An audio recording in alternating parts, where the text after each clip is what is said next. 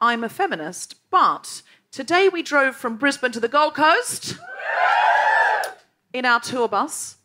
And Grace Petrie, the brilliant singer who's going to be on later tonight, who is on tour with us from the UK, she looked up at the ceiling of this van that we'd got and she said, Every time I tour with you, the tour van has a see through sunroof.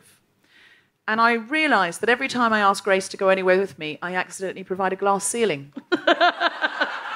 Just looking up, thinking, yeah, I'll never break through that. Like that. Feminist glass ceiling. Uh, I'm a feminist, but I really get pissed off if my boyfriend doesn't carry my shit for me.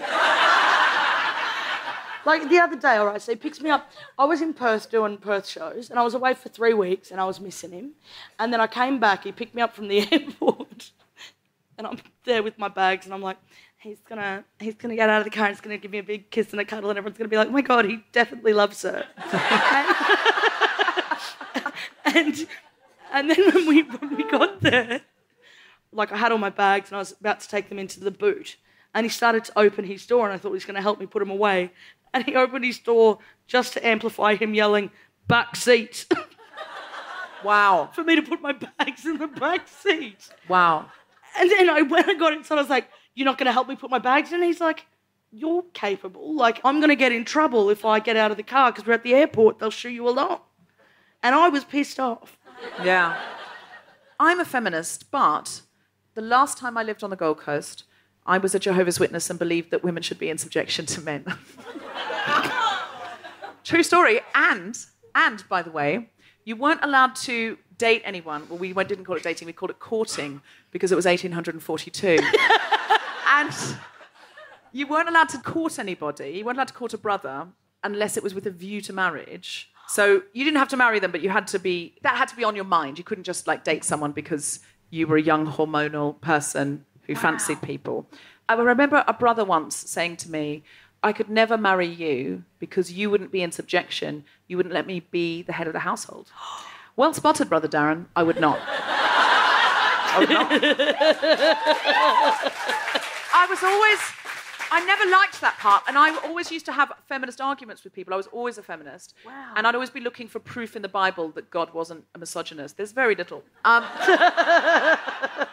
but you could find your passages, you know. Um, you can find anything in the Bible if you look hard enough. And Also, you can find passages anytime if you look hard enough too,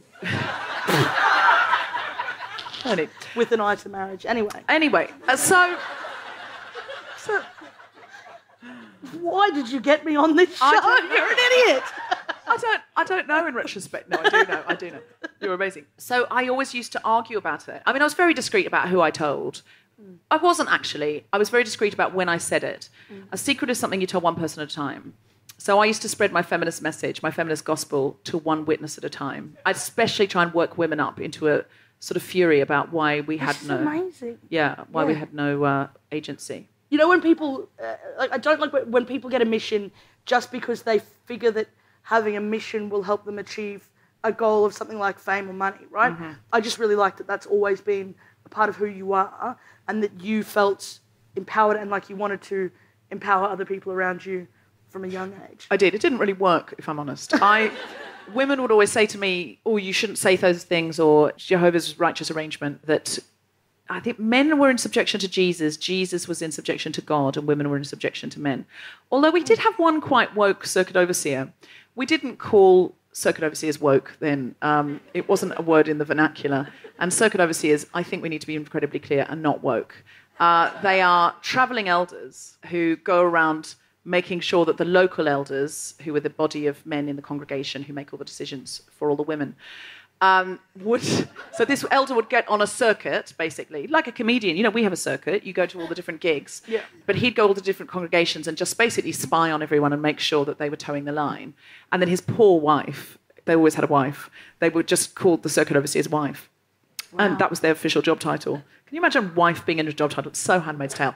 Anyway this one circuit overseer at my pioneer school said because there was some young brother there who thought he was hot shit Yeah. and uh, he wasn't. And he was going on about how we had to be in subjection to him. and we were all single. We were all, you know, like late teens single, early 20s, late teens single. And this circuit overseer said, Let me clear that up for you. Women are in subjection to their husbands, but if you're a single man, you only have dominion over the animals. this is a really good joke if you're a Jehovah's Witness. Sadly, you're not, because you wouldn't be allowed to come to an event with feminist in the title. Do you think that there are secretly Well, I don't know. Is anyone secretly Witness. a Jehovah's Witness? we won't tell. We promise. Any, anyone? Anyone secretly? They're not going to say though. No, are they they won't, They might say afterwards. They might say, if you are secretly a Jehovah's Witness, come up afterwards, and we will take you to a safe house. you do, have you, have you, do I another? okay, uh, I'm a feminist, and I think it is super important as a professional woman to always conduct myself with professionalism. I like to be on time, but I was late today because I wanted a quickie. We're not going to do better than that. Live from Miami Marketta on the Gold Coast. Frances guest co-host Steph Tisdell, and very special guest Mel Buttle talking about invisibility. This is The Guilty Feminist, the podcast in which we explore our noble goals as 21st century feminists and the hypocrisies and insecurities which undermine them. My name's Deborah Frances-White. I'm here with Steph Tisdell, and today we're talking about invisibility.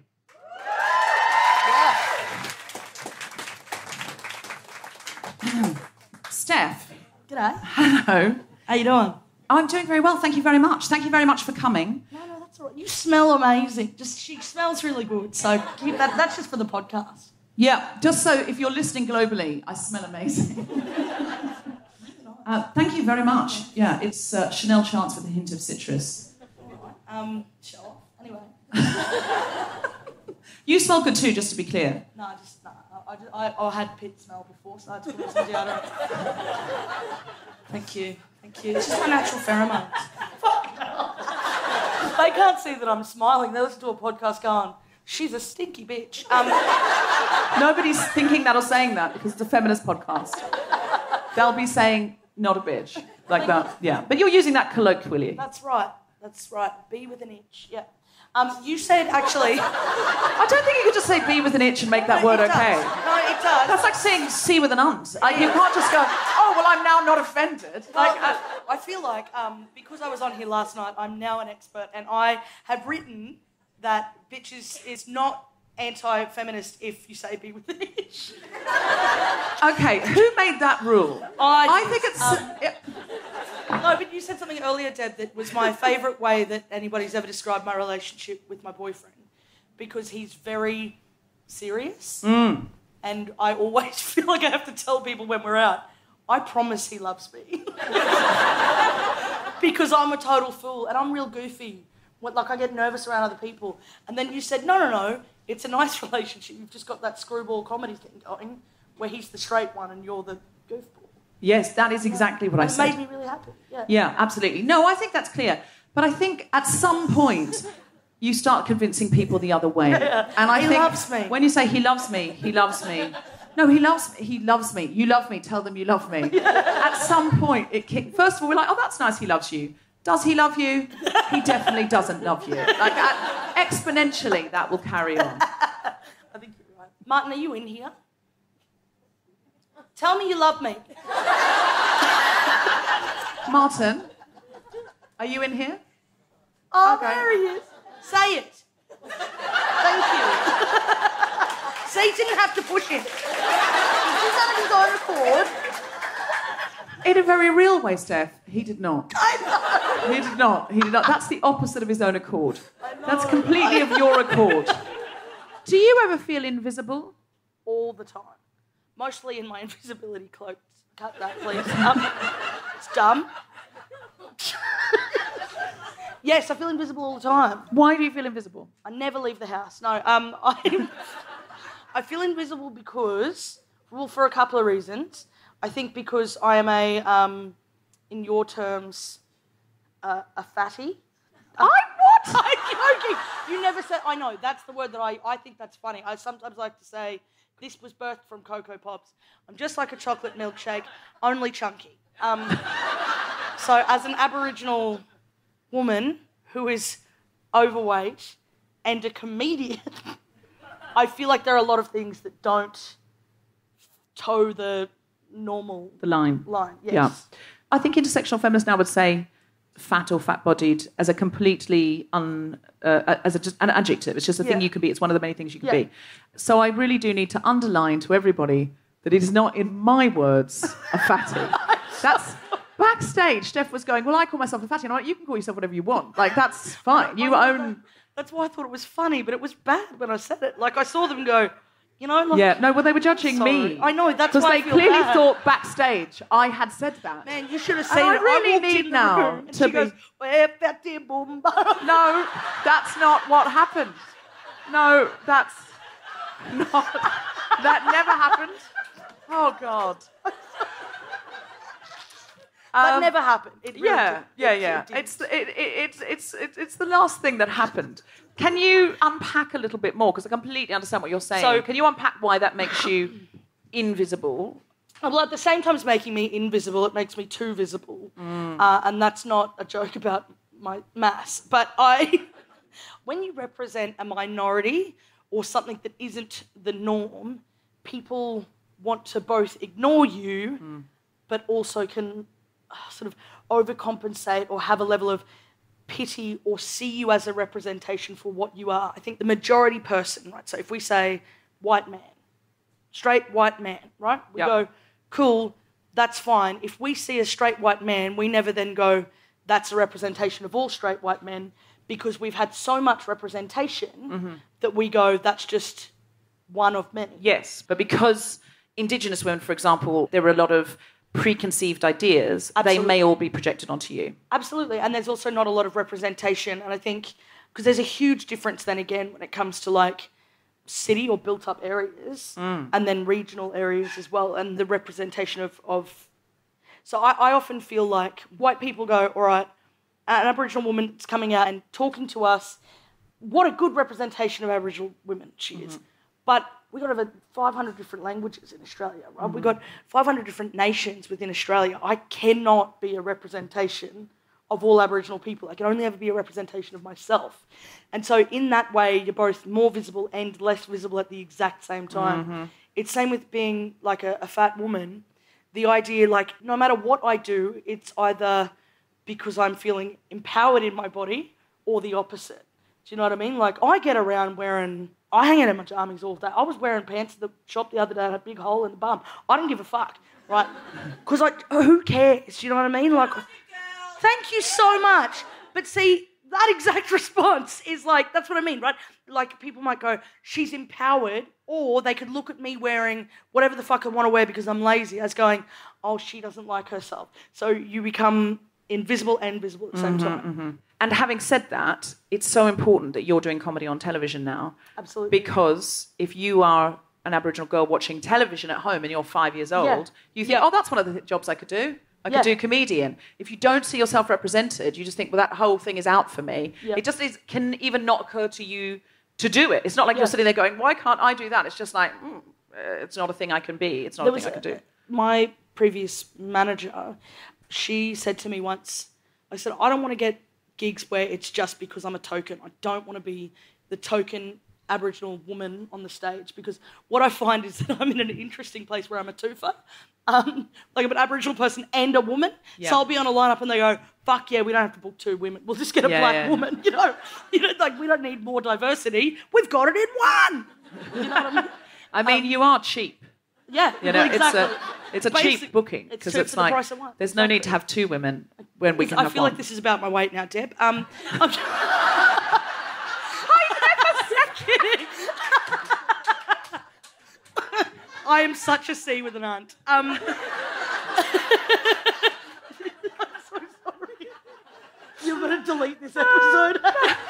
um, No, it'll just be about four minutes long. it'll just be those opening titles, and then good night. Uh, what my previous manager said to me was the thing that you have to remember is that it's only tokenism until it just isn't anymore. Mm-hmm. And that seems like such a simple thing, but actually, it's very, very, very true. And so I think I have a responsibility, and also it's not like I have to do this, I want to do this. Couldn't give a fuck what happens with my career, except that I want it to help me get to a place where I can encourage other people who have a lack of opportunities. Like there are aspects of my upbringing, my childhood, that also make me feel like I am different from my own community. And I'm in a particularly bizarre situation in that I was incredibly privileged growing up. And my biggest issue was that I didn't feel as connected to my culture, which is all that I wanted. And my mum had to make a very, very, very purposeful choice of whether she was going to raise us on our country, where she used to get spat on in the street because she was black, or whether she was going to raise us to give us opportunities and know that we were going to yearn for culture. And that becomes the question in Australia. That's the truth, and still to this day, mm. for Aboriginal people in Australia. And it's not a matter of making yourself feel good because you went, I learned how to do an acknowledgement to country today. I'm so good. It's so much deeper than that, and it's so much more splintered than that. And it's very hard to know where I fit within that space. I'm so excited to see the shows you're going to do because you're going to write some incredible hour long comedy shows that are going to end up as Netflix specials oh, where you're going to be able to explain all of this. No pressure, but you are going to be able to unpack and explain this through comedy. Yeah. And like Hannah Gadsby did with Nanette, mm. it changed everyone's idea of what it was to be marginalized in the way that Hannah's marginalized. Mm. I can't wait to see your show about the nature of being Indigenous for Indigenous people all around the world. Mm. I think this is a really interesting topic, invisibility, because it very much speaks to those intersections, exactly like you said. Can I just chuck in and I'm a feminist, but just because it's just come to my mouth? Mind? Yeah. I'm a feminist, but I'm terrified of other feminists because I feel sometimes not represented in the conversation. And that is really hard because you want to say everything you're saying is valid, but also my voice is, you have no idea when there's an extra layer how hard it is to give a shit about that mm-hmm. when I just want somebody to take me seriously on this level, or hey, I see that from a slightly different perspective to you without it seeming like you're undermining a movement.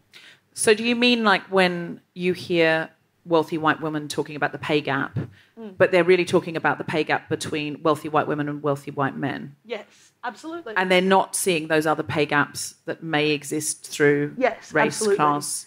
I also think, you know, there are really interesting things that people sometimes don't think of as well. Like, so I was born in a, in a uh, place called Mount Isa. Don't boo me. Um, it's it's a mining town and it's really interesting there because what you find is that people really stick to their gender roles and they seek that. It's this weird space and I think areas like that just tend to go that way, like very conservative and they tend to just sort of toe that line. So it's not only just wealthy white women, it's Western wealthy white women and it's like metropolitan, mm-hmm. wealthy white women. Do you know what I mean? I feel personally attacked. I'm so sorry. I know exactly what you're saying. And we've just got to be really careful of it. It's not to say it's not important, because if the most powerful people in the world can't close the pay gap, it feels like what's the hope for anybody else? Yeah. But if we stop there or we make that the top line and we don't cut down, we're just slicing across the top. Yeah. And the whole news story is about Claire Foy not being paid as much as Matt Smith for the Crown. You guys all fans of the Crown? Okay. It's the Gold Coast. no, no, they think you're talking about the casino. no. no, they don't. I'm sorry. Excuse me, I'm from the Gold Coast. I watched The Crown. Also, that was really self-deprecating of them to cut. They're like, we do, we love a casino. love you for clapping that and not going, we're, we're walking out. We're walking out. Outraged. It is an important story to say, even at that absolute top level, you always need an example of something, and the best example is going to be the highest profile. And it, it's a really hard line to not alienate Mm-hmm. people who fit outside of that because you're all fighting the same fight. Mm. But I think it's very hard to be very inclusive. Like, we've got to have a go know. at it. Like we fail at it all the time. We fail at it all the time, but we fail better each time. Yeah. I mean, I really often feel this podcast is built on criticism, and sometimes I get criticism. I think actually, no, I don't think that's valid. Like you know, but if it comes from somebody generally in a marginalised group, I'm like, okay, let's listen, let's take that on board, let's see what we can do, and let's Yeah. try and. But I just do also think the podcast is more interesting because a lot of things you're saying I've never heard before. Yeah. Whereas if it's continually two white middle class women Yeah. saying the same things back to each other again and again and again and again in a loop, we just sort of, it's lovely being right. We come together sometimes as feminists to go, mm, we're right, aren't we? Aren't we right? Aren't we right? We've not changed anything, but we're very right. And I've enjoyed being right this evening with you. Have you enjoyed? I've just loved it. Uh, and then we go away. And I think I'd rather, in a way, as I listen to you go, oh, yeah, because that's mm. how progress is made. I often think that a completely content person has never changed the world. The first ever piece of technology was the chair, I think. And other people would have definitely gone when somebody's gone and you know seen a stump on the thing and thought, oh, I could sit on that. Other people were definitely going, whoa, why are you so fancy? Why can't you sit on the ground? What's wrong with the ground? You're so right. And somebody was dissatisfied with the ground. That is. went, I'm writing. I'm writing material about this shit right now. I'm like, no, I'm stealing it. No, you write it. Write about that. you would feel fancy if you were sitting on a log and everybody else. Yeah, and then someone went, Do you know what would be more comfortable? We put a back on that, and we found a way to nail a back to this chair. And everyone said, Oh, why do you have to have a back on it? And at some point, you have to be dissatisfied with what is here in order to change what's there. And that will always disrupt, and other people will always be threatened by it. But then after a while, chairs become normal, and nobody's threatened by them, and you're not burnt as a witch for making one. it's just standard, you know. What I'm saying is, metaphorically build a feminist chair where you are.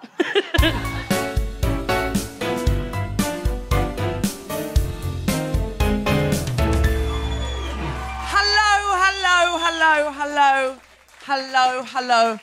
And welcome, welcome, welcome.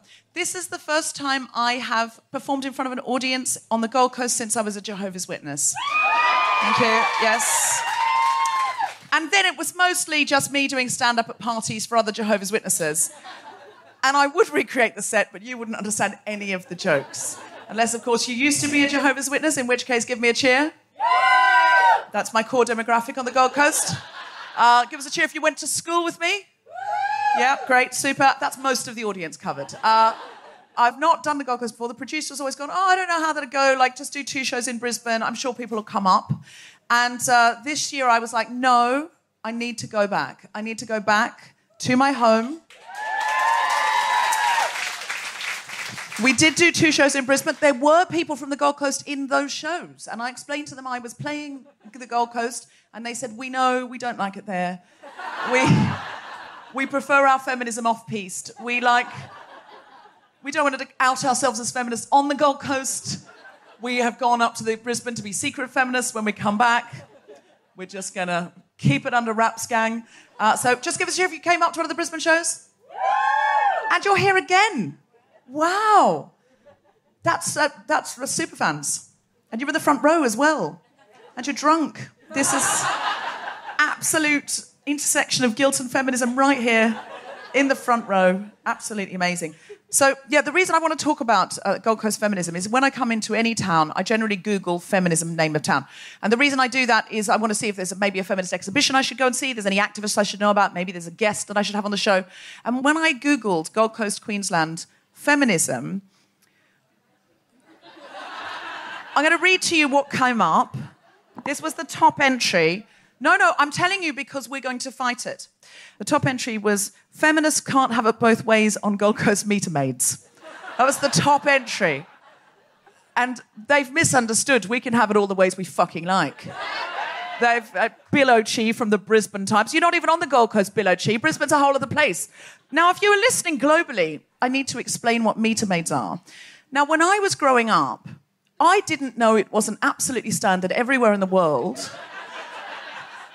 Idea. If you're parking your car and you're just about to put money in the meter, that there was a, always a possibility that a lovely lady, a pair, they came pairs, lovely lady, two lovely ladies, would not rush up to you wearing rather small bikinis and stilettos with a sash that said meter maid and say, Oh, let me do that for you. That is what I assumed. And sometimes you'd be coming back to the car and you'd see, oh, somebody's running back, you know, like in London, it's sort of people always running back, it's back to the car. And so if you're listening to this in London, where a lot of our listeners are, in London, can you imagine if you're running back to your car and there's a parking inspector coming this way, traffic warden coming this way, and you think, oh God, and they're like quickly going to put the ticket on the car, and you'd say, oh please, I've just got caught up, and they'd say, no, it's more than my job's worth, love.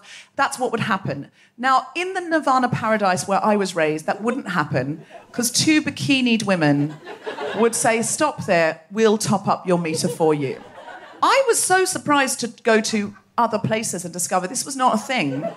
In fact, this is not a thing anywhere else in the world, Gold Coast. And so I started looking at what was happening with meter maids now, and apparently there's still a thing uh, in 2020. But when I was growing up, the government paid them to do it. and I'm very keen not to be the kind of feminist who says that women cannot commodify their bodies in a capitalist society. And I'm also very keen to say context is everything. So in Britain, we had page three models, and page three models uh, was in the context of the news. There is a topless woman on page three, and on the other side of the paper, there might be a female foreign secretary trying to get something done, and it recontextualizes women. So it's not saying there's no room for any woman to earn money if she wishes to, taking her top off. It is saying context is all. And I will question the context of the meter maids while also saying it's okay in a capitalist society for a woman to commodify herself. And that's why I can have it both ways.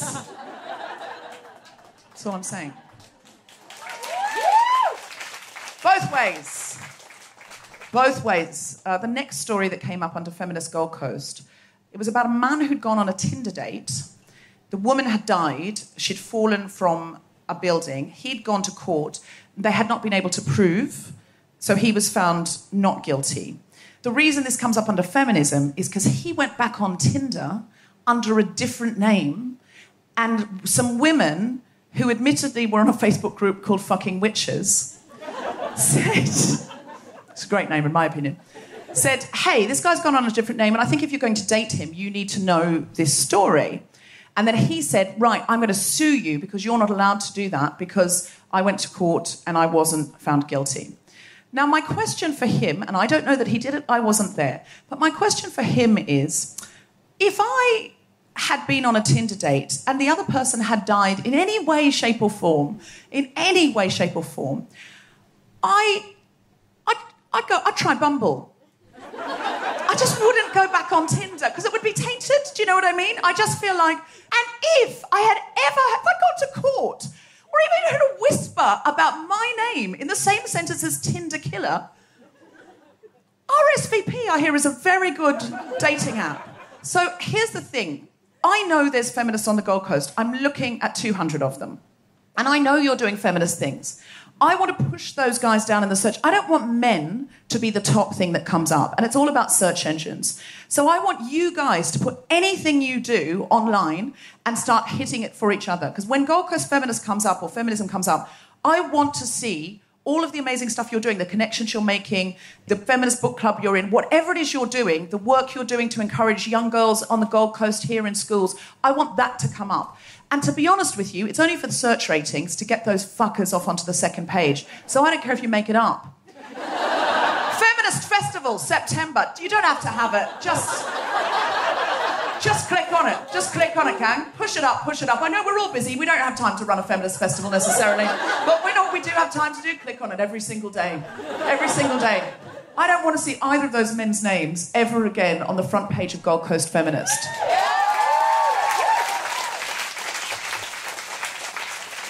So, does anyone here do anything feminist that they would like to tell us about?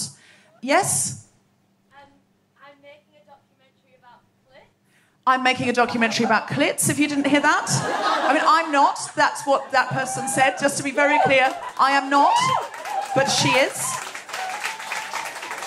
That's very popular, the documentary about clitorises. That's and where do you live? Um, I live just outside of the Gold Coast. You live just outside of the Gold Coast. South, like South Gold Coast, but out of the Gold Coast. uh, We'll take it. We will take it. What was- You live near Byron Bay. So maybe later in the show, if I called on you, could you tell me about that? Great, super. Just so that we, and because if we all started clicking on the documentary about the clitoris, so when anyone puts in, oh, Gold Coast, I'm going to the Gold Coast, I'm a feminist, I'd love to see what's happening there. Or maybe a men's rights activist going, ah, feminism is cancer. ah. What's happening? Ah, I hate feminists. What's going to come up? It's not, eh, can't have it both ways. It will be, in fact, a documentary called You Can Have It 12 Ways. and if you haven't got a name for the documentary yet, do you do? What is it? Uh, me and her. Me and her. Is the her the clitoris? Great. Okay, super. Understood. Understood. Loving the name. Me and her. Has anyone else got any project or anything? Yes? Um, I work in birth as a doula, but I specifically am passionate about working with women in domestic violent relationships through a shelter on the Gold Coast. Oh, wow. Support in birth. Wonderful. Oh, that's incredible. So you work as a doula, but you help women who are in relationships where there's domestic violence, who uh, are survivors of domestic violence, to give birth safely in a safe space. That's absolutely incredible.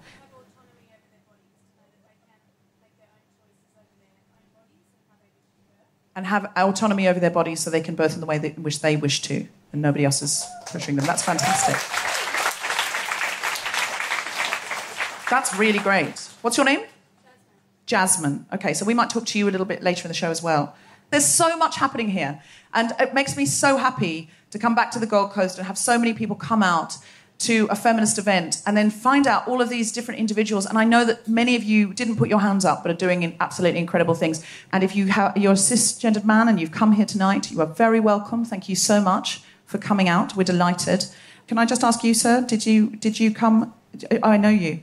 Um, yeah. So uh, the only man in the audience is a friend. Um, no, that's not true. I don't know you. What's your name? Mitch. Do you listen to the podcast, Mitch? You do you? I love you, Mitch. I believe in you. I believe you've been listening to the show. If you heard other men talking in a disparaging way about women when we weren't there, because the thing is, gang, we're never there when we're not there. So, as a woman, I'm never in the room when I'm not in the room. So, I don't know what happens then. So, Mitch, if men were talking about women in an othering or disparaging way, would you speak up? What would you say? It's not a joke unless everyone can laugh at it. Oh, Mitch. Mitch. Oh, Mitch. I really hope you're single because your chances of pulling have really skyrocketed here. You single, Mitch? Recently single, Mitch. I'm going to need more information, Mitch. Mitch is recently single. Tell me more, Mitch. Uh, he's just looked at a woman and said, "Do you want to take over, Mitch?" I'm halfway there. He just he just looked at a woman and said, "Do you want to take over my story?" Do you know how rare that is in a man, Mitch? Normally, we're telling a story of our breakup, and a man goes, "Actually, it was a Wednesday." You're like, "Fuck off! It's irrelevant to the story. I'm in tears." No, it wasn't the time you were in Caboolture because I was there then. Shut up!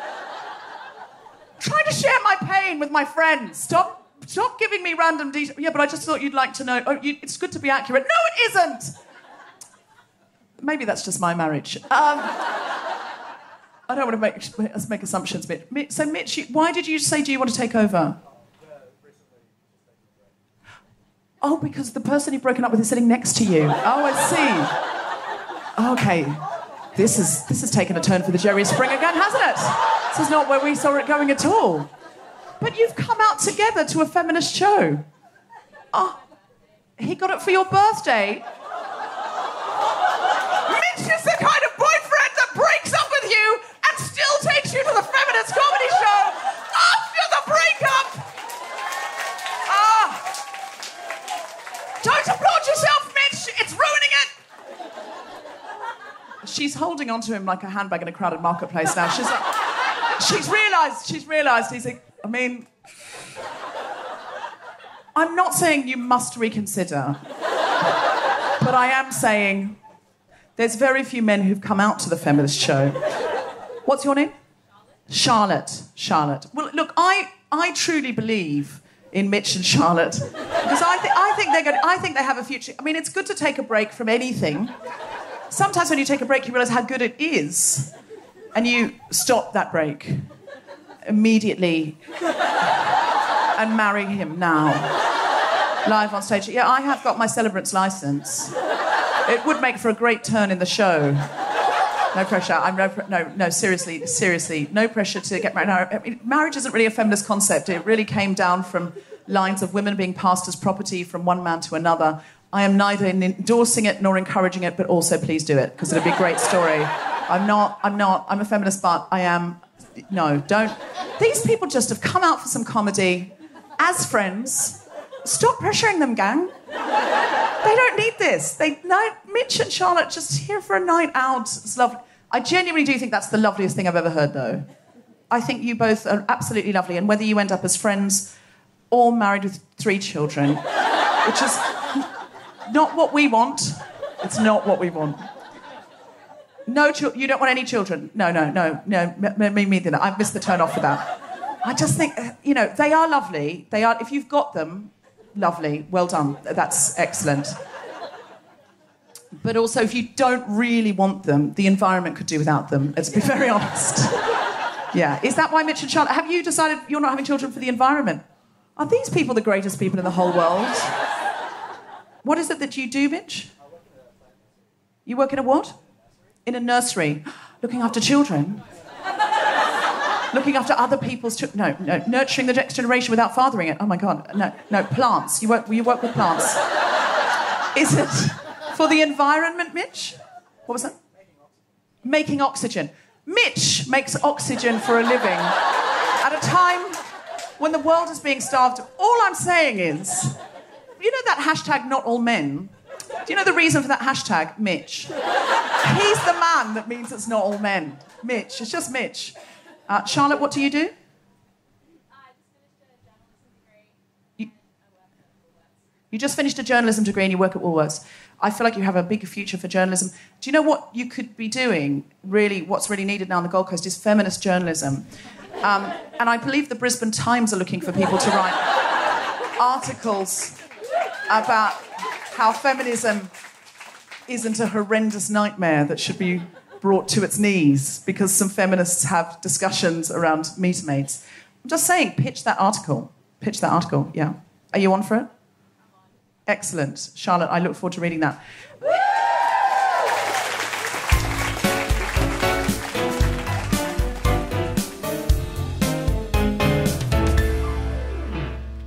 Hello, guilty feminists. This is Deborah. Please put this date in your diary Thursday, the 11th of March at 8 pm UK time, if you're on it or you can get to it. We're doing our special International Women's Day week live stream extravaganza. Now, you can't come and see us live because of uh, lockdown. Normally, we'd go somewhere like the Palladium or the Barbican, but those venues are in London and you might not be. So, wherever you are in the world, you can watch live from a screen you're probably holding right now. That's right, a screen you already own. And if that's not a convenient time because you live on the other side of the world or you've got a thing, you have 72 hours to have and to hold this show. Yes, you can watch it in your own time. Guests include my fabulous co pilot, Sindhu Vee, the excellent and extraordinary talent that is Maria Bamford. We've never had her on the podcast before. We are beside ourselves. And our brilliant musician, Grace Petrie, with some very special surprises. I'm not allowed to tell you, but I really want to. We're partnering with Stylist Magazine. I'm guest editing it. I'm a feminist, but I know I've got a rom com hero job. I'm editor of a magazine. That's right. One week only. Uh, but I am absolutely excited and thrilled. 10% of every ticket sold goes to Choose Love. So you're choosing love just by coming and joining us. And there will be some Choose Love content as well. Because we want to think about displaced women this International Women's Day. That date again, Thursday, 11th of March, 8 pm UK time. Get your tickets now by going to events.loopedlive.com slash guilty feminist or follow the link on the homepage at guiltyfeminist.com. Please come and join us. I want it to be a big international exciting thing to make up for the fact that we're in lockdown. We love you all. We can't wait to be a tribe and an army in a room with you again But until then, there's some great advantages here. Maria Bamford's beaming in from America. See you there.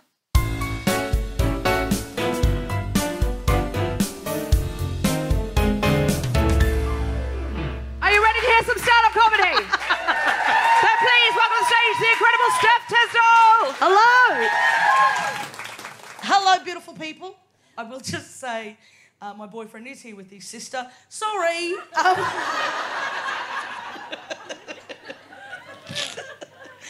I can see, just for the people uh, who are listening back home, I'm not wearing shoes, um, and I, I feel like I need to, to reference that to the people who can see me, uh, because I know you're right. Um, I do have my ankles out like a slut, but I just figure, you know, if you've got it, flaunt it. So.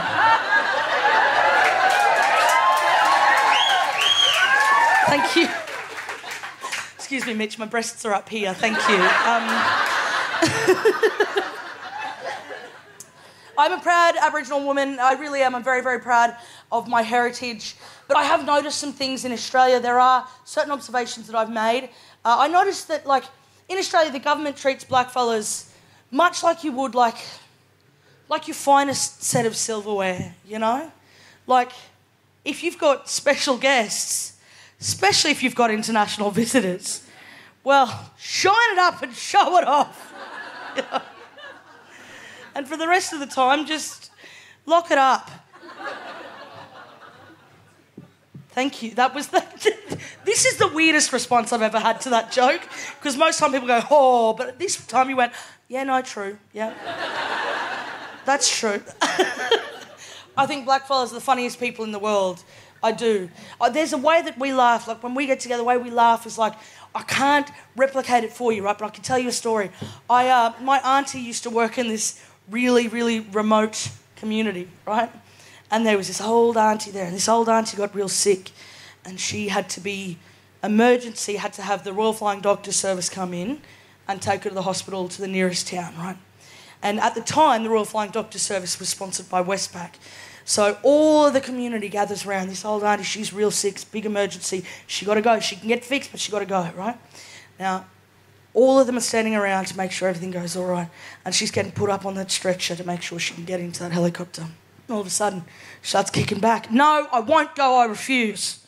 Everyone's going, Auntie, Auntie, we just want to make sure that you get better. If you don't go, then you're not going to get better, right? She goes, Nah, I refuse. I'm not doing it. I'm not going. Auntie, you've got to go. We've got to make sure you're better. I won't go. Auntie, why?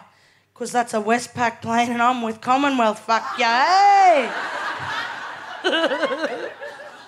She just wanted to make the community laugh one more time before she had to go.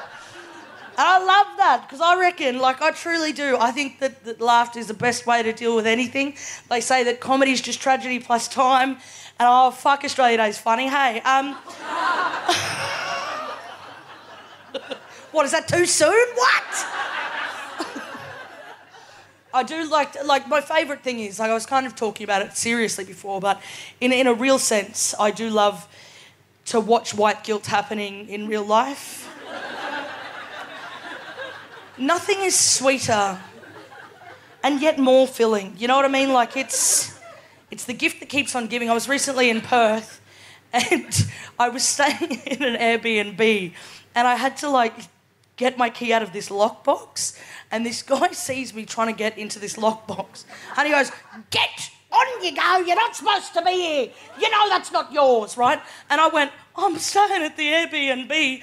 And he looked at me like, "Oh, fuck." And then he said, oh, It's not because you. And I thought, Oh, Jesus, this is worse. Like, it's getting worse. And when I watched him trembling in his boots, going, I'm a piece of shit, my whole day was made. Um, and see, I don't drink or touch drugs, right? Like, I literally, I don't drink at all, right? Uh, but that, that is my crack. That's. I have to get you know, I have to get at least one fix of that every week, otherwise I start getting the shakes. And so I, um, I have made sure that I can consistently get my filling of white guilt. So what I like to do now is I like to go to like a really hipster cafe, right? And what I'll do is I'll find the biggest hipster that I can find, uh, which is somebody who smells of beans and is wearing Birkenstocks, and I. I will wait behind them in line, right? And it takes a bit of patience, but it's worth it. And and I'll I'll just wait for them to order a smashed avo, right? And then I go, "What the fuck did you just call me?"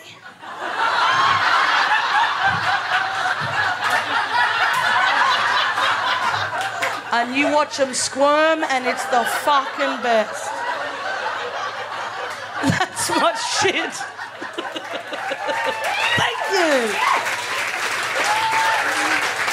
I'm gonna, I'm gonna finish this up real quickly, but I just have to. My, my fella, because he's here, I've got to tell you this, right?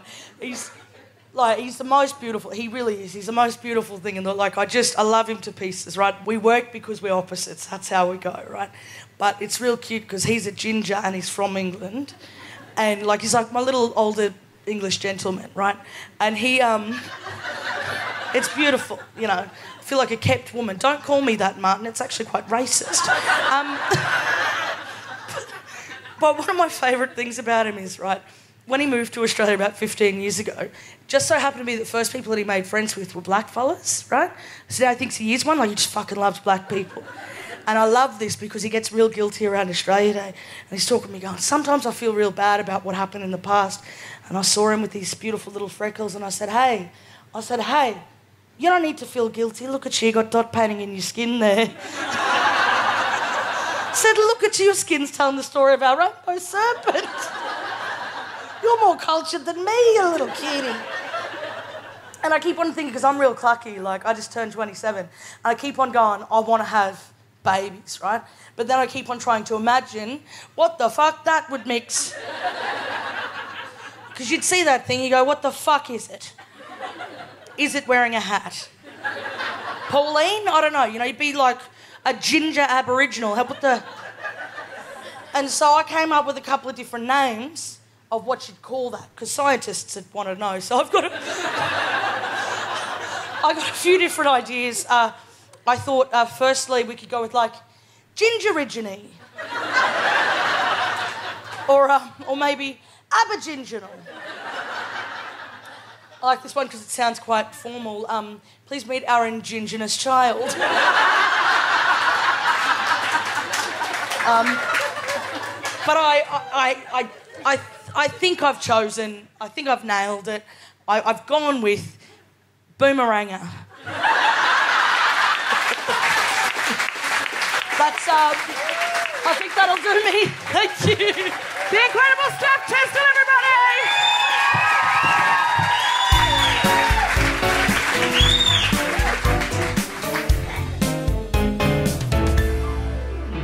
Our guest today is a comedian, television host, and columnist. She's a past recipient of the Director's Choice Award at the Melbourne International Comedy Festival. You may have seen her on The Project, The Weekly, or as co host of the Great Australian Bake Off. Please welcome to the stage and welcome to the stand up mic, Mel Buttle!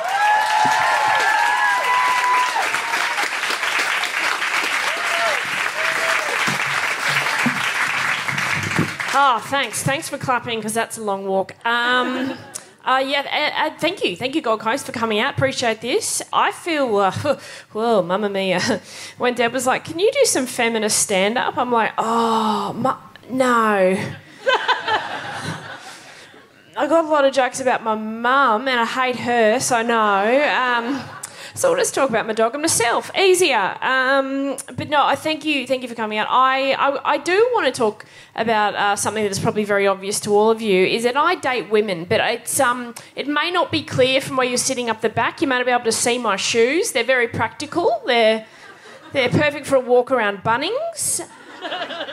Adopting a rescue dog in these very easy. Some people still don't get that I'm gay. They're like, oh, I just thought you were sporty. No. no, I'm not wearing these shoes to get extra traction to suck cock later. You know what I mean? good, we're on the same page, Gold Coast. Very good. I do, I do date birds. Didn't always, used to be on solids back in the day, but um.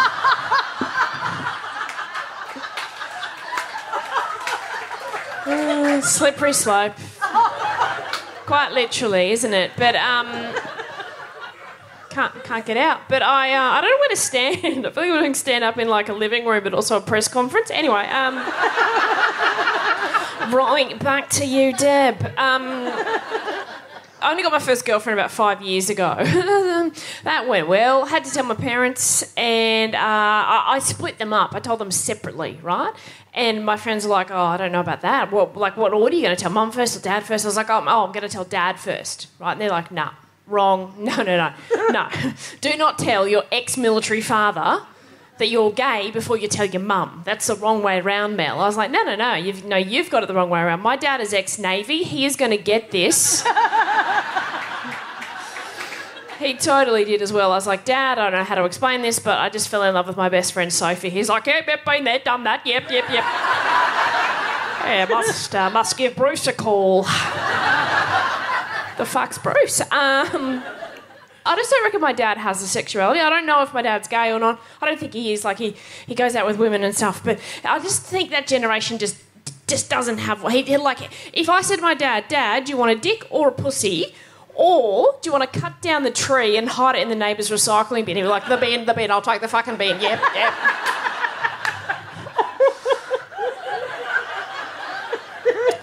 Loves a bin. Um, so I told mum, told mum that I was uh, dating women, and she goes, "Oh yeah, yeah, it makes sense." I was like, "Why is that, mum?" And she goes, "Oh, you played a lot of hockey, didn't you?" So, anyway, I'm going to leave it there. Thank you so much. My name is Mel. Mel Buttle. Everybody!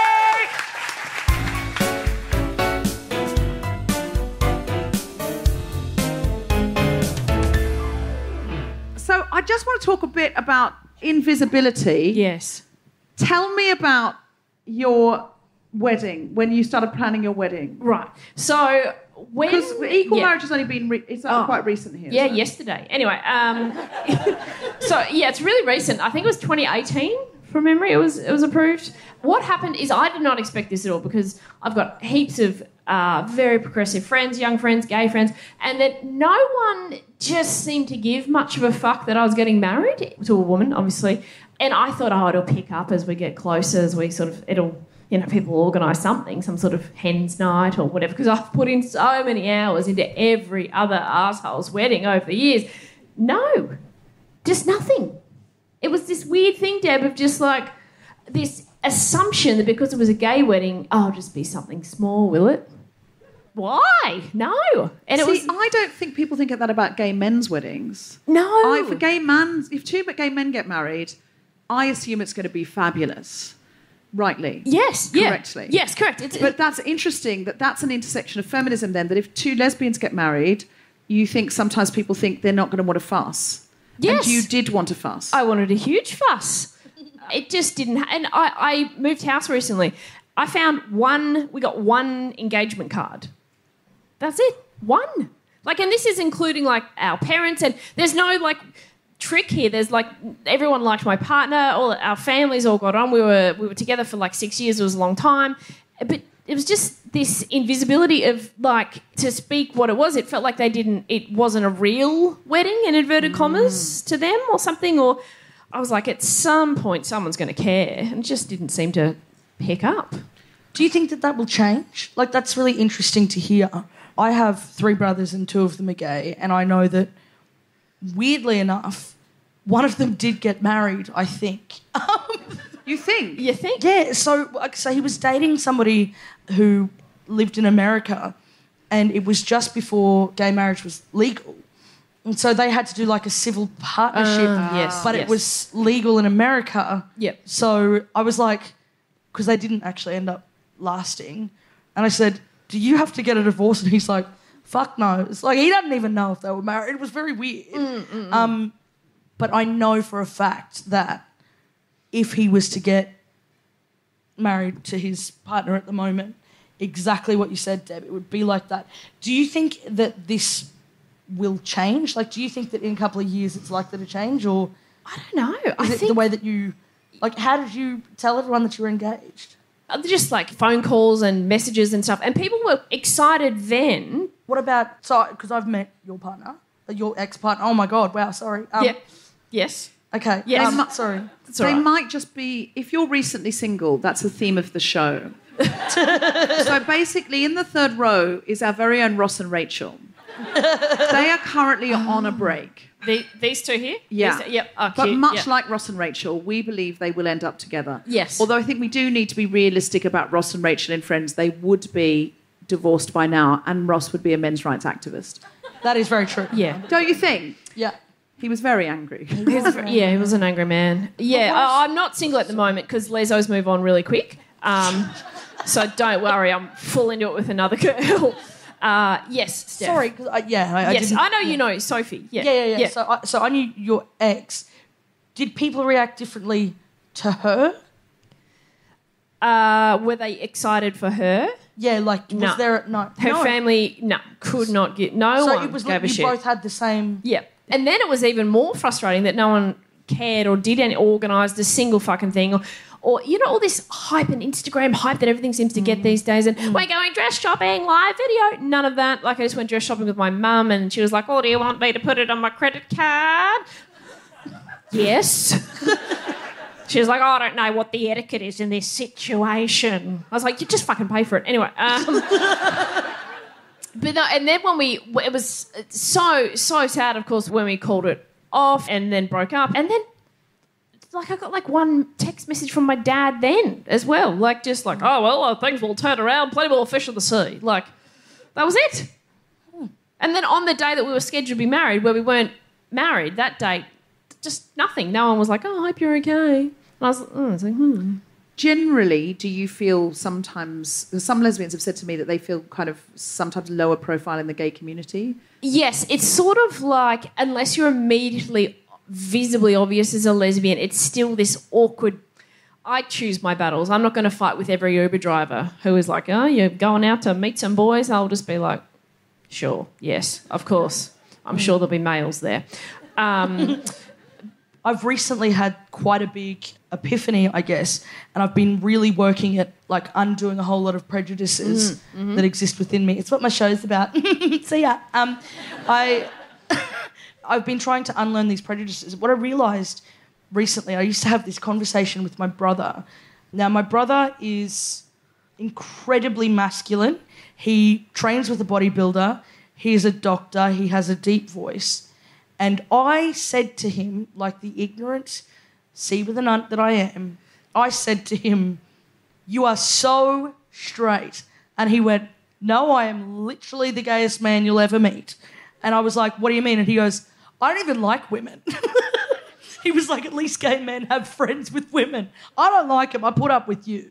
And no, but like he said, you know, like Yeah. I have never ever been in love with a woman. I've never had, and you know, I, I'm a gay man. What you're talking about is the stereotype that you think exists that only came about as a way to signal to others your otherness so you could connect with others. Yes. And I was like, that's fascinating. And what I realized is that I had been incredibly accepting of my brothers and their homosexuality completely. But I used to have this real issue if people ever questioned whether I was a lesbian. Ah. And I have no idea why, because I couldn't give a flying fuck. Like, it's not like I have any issues with lesbians, but the idea for myself that I would be looked at that way. like in primary school, where kids like, or whatever, your brother's gay, so you're gay. Like that. No, no, no, no. like it, they weren't out until after high school. Right. I just, I was a tomboy, and so I always had this idea that oh, people are going to think that it's like this, therefore, like this is going to take me out of the market. Do you think it was because you felt that there was already enough stereotypes projected upon you, and as you weren't a lesbian, you didn't want another stereotype that might marginalise you? I actually have no idea. Like I really, I still don't know. And I actually had a, an amazing. This this was the conversation that started me trying to unpack these prejudices. Was I met with I don't know if you guys know her. If you don't search her, can't remember her last name though, which doesn't help. But Faustina Fuzzy Fuzzy it- Agolley. She's a Blasian, as I called her. Her dad is Ghanaian. Her mum is Chinese. She grew up in Australia, and she recently came out. Yes. Yep. I did this whole chat with her, and she said to me, "Yeah, well, until I was 25, I guess I thought I was straight." And then I fell in love with a woman and went, "Oh no, this feels way more natural. I just never challenged that part of my brain."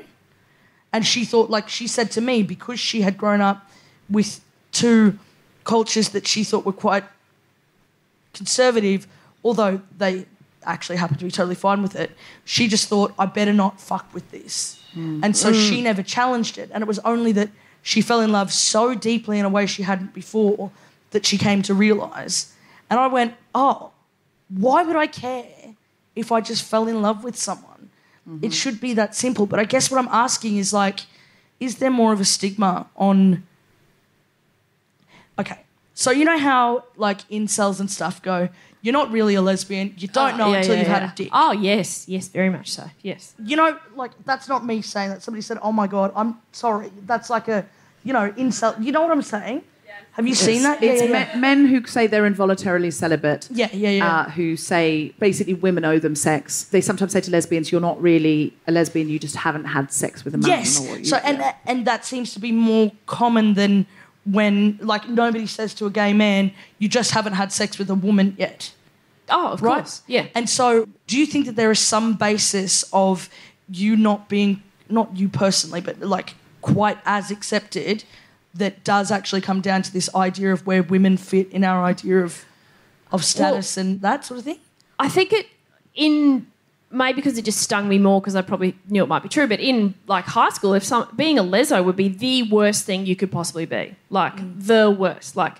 And it, uh, my I would my face would go red if anyone accused me of it, and would and maybe because I knew it was true or something. But also like now, you just yeah, I get this look from men sometimes when they find that out. They just like totally dismiss you. So not o- in their eyes, they go, not only are you a fucking woman, you don't even want to root me. Oh, and it they just this like total lack of interest. Then I'm frustrated by the other side because I don't get booked on queer gigs that often for some reason because I'm maybe not good enough at being a gay, and I'm like, well, this bloke reckons I'm real good at it, and he hates my guts. So I'm like, you can't. So yeah, if you if you don't have very masculine gender expression, Hmm. you can be seen as not lesbian enough to be booked on a queer gig. Yes. Yeah. Yeah. So what we're saying is lesbians need to have more visibility, and if a lesbian in your life says she's getting married, please make a fuss and organise an incredible hen night. Yes. Mel Buttle, everybody. Thank you.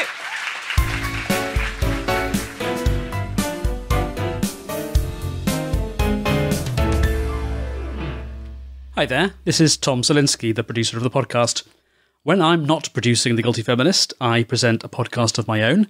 I'm a writer and I'm also a corporate coach, and I'm running one of my storytelling sessions over Zoom this Wednesday, the 3rd of March at 2 pm.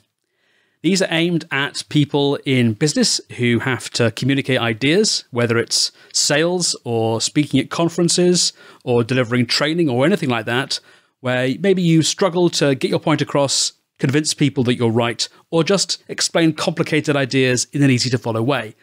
And we find that taking that material and thinking about it as a story really helps. So the course is a couple of hours long. It's very interactive. There's lots of things for you to do as well as think about. And we're offering a special discount for Guilty Feminist listeners. If you go to the-spontaneity-shop.com and follow the links to open courses, when you find the storytelling course on Wednesday, you can use the code word guilty0321. Guilty0321 and get a special £75 rate instead of the normal £95. So we'd love to see you there. 2 o'clock, Wednesday, the 3rd of March, storytelling for anyone involved in business, and get £20 off with that passcode. See you there.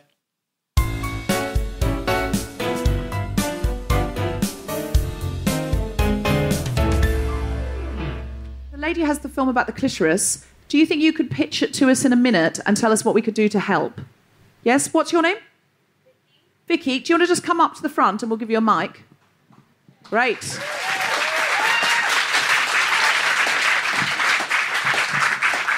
So just tell us about your project, give us the top line, and if there's anything this audience can do to help or get involved, that would be great.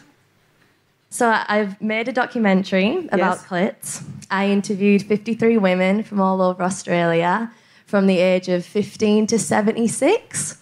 And uh, I asked them all questions about the clitoris and their experiences with her. And um, I turned it into a 40 minute documentary. And it explores everything from religion to how they found her, to past sexual experiences, to politics and the big P and all the really fun stuff. Sorry, what's the big P? The patriarchy. Oh, sorry. So- sorry, the big P. Yeah, the, the patriarchy. yeah, I didn't think that either. Oh, did you not? Oh, good. Yeah, the big P. I didn't want to ask because I know everyone else knows.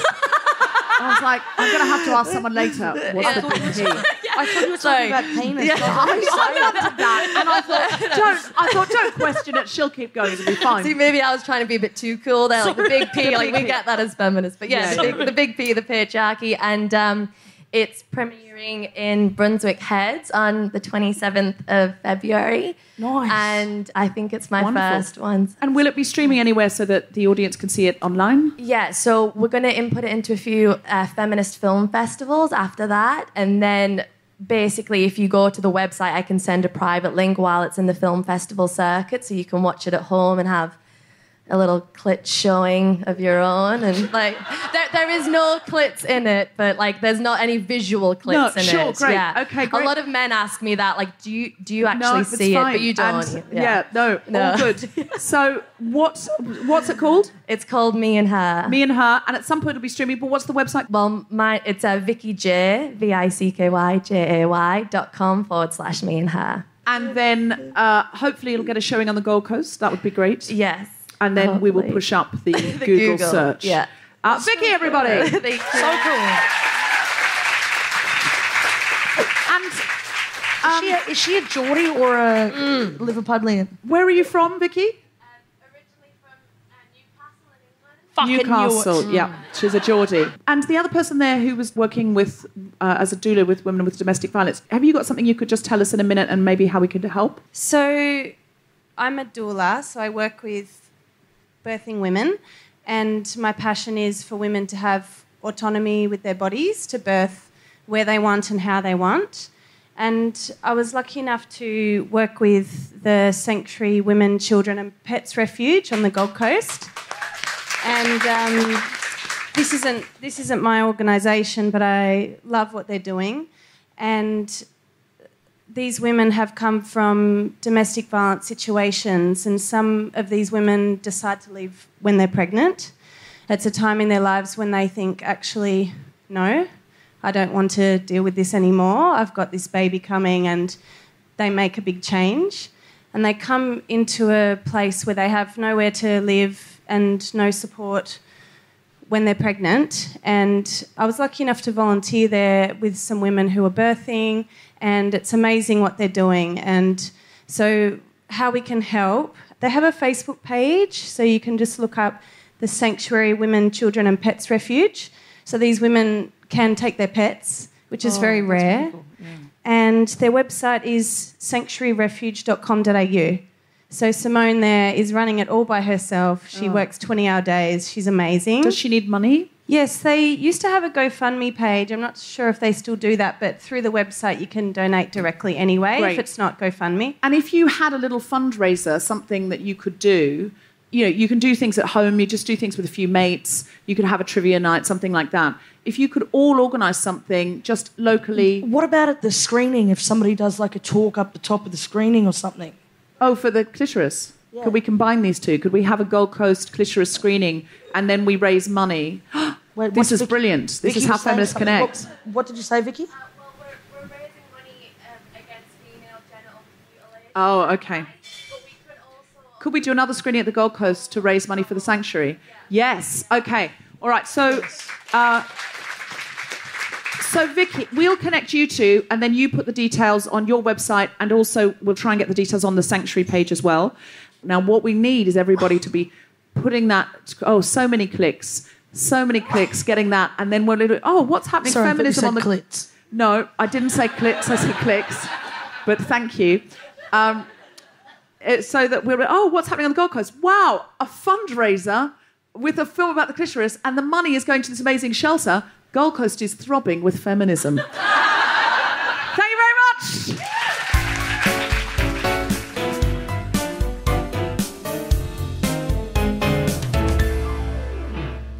incredible act for you now. She's come all the way from the UK Uh, she's a wonderful singer songwriter. Put your hands together and make incredible Gold Coast welcoming guilty feminist noises for the wonderful Grace Petrie.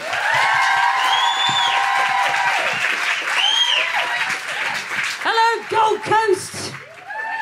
How are you doing? Good. I'm. Uh, I also don't have any shoes on because I got here to do the sound check at, at half past four, and it went, all went to plan. So I, I had loads of time. So I said to Jeff, um, "Oh, I'm just going to go for a walk on the beach." Did anybody see the weather before the show? Yeah, that was good. Um, I seem to have brought the weather from Britain with me wherever we go.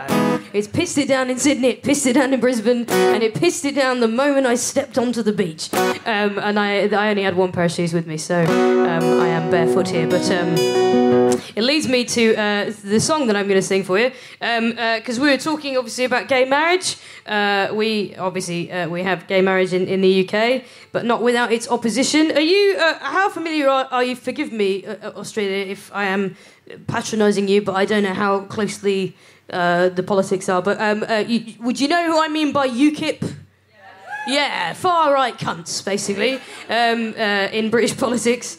Um, and uh, so a few years ago, um, we were experiencing quite a lot of flooding in the southwest of England, and a UKIP councillor said that the reason for that flooding was that that was God's revenge for same sex marriage being legalised, right? And it so happened that I was due to uh, to sing on a topical radio program on the BBC that week, so I decided to sing a song about that. And it was the same week that uh, Jeremy Clarkson. are You familiar with Jeremy Clarkson? Yeah, far right cunt from the TV in Britain. Um, and uh, and he, uh, this, there was the same week uh, that he um, got into trouble for using the word gay as an insulting term on Twitter to his at the time 2.8 million Twitter followers. So I wrote a song about it, and uh, and it is called. This is genuinely the title. it is called "I Do Not Have the Power to Cause a Flood." Um, my time in Australia so far would suggest that that is not fucking true. To be honest with you. But I will, I will sing it anyway. Try and make it come true. It goes like this.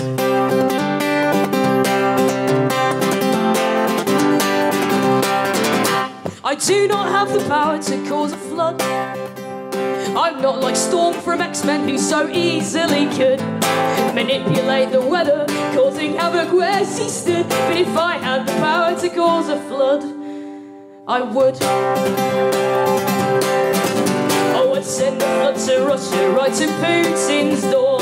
The waves of my destruction spanning miles to wash away the prejudice and then never more will he make statements that equate us all to pedophiles, but instead give all Pussy Riot a day. But if I only had the power to cause a flood. Would send one to Uganda where Museveni says gay and bi and trans abnormals need a cure. And until he finds one, he's content to throw them all in jail. A life sentence of repentance, but you can be sure that Museveni definitely would know it if I had the power to cause a flood.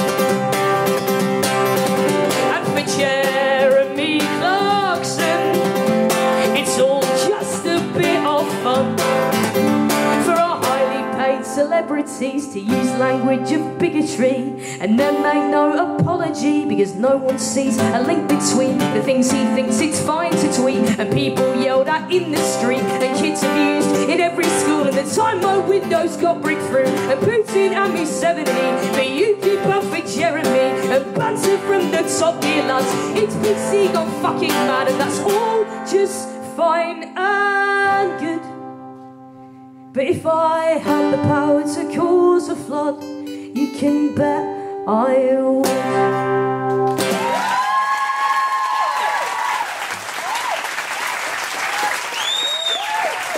Thank you very much. Thanks, gangs. Nice to be home.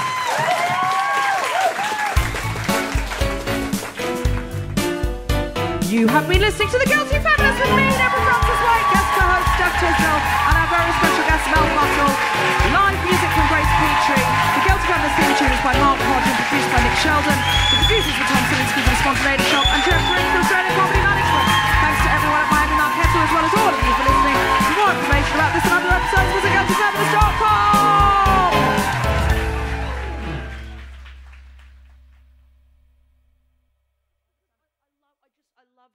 Um, stories where it's like you know, some people. I feel like some people get a, a, a passion or a um, or a what's why can't I find words? Where are they? You've taken them. No, um, like my land. No, sorry. Don't know. Just want. I just wanted that, Deb. I just wanted that. Don't pause it. I just wanted that. That's my favourite sound. Um, no, I, you know what? Some, sometimes people get.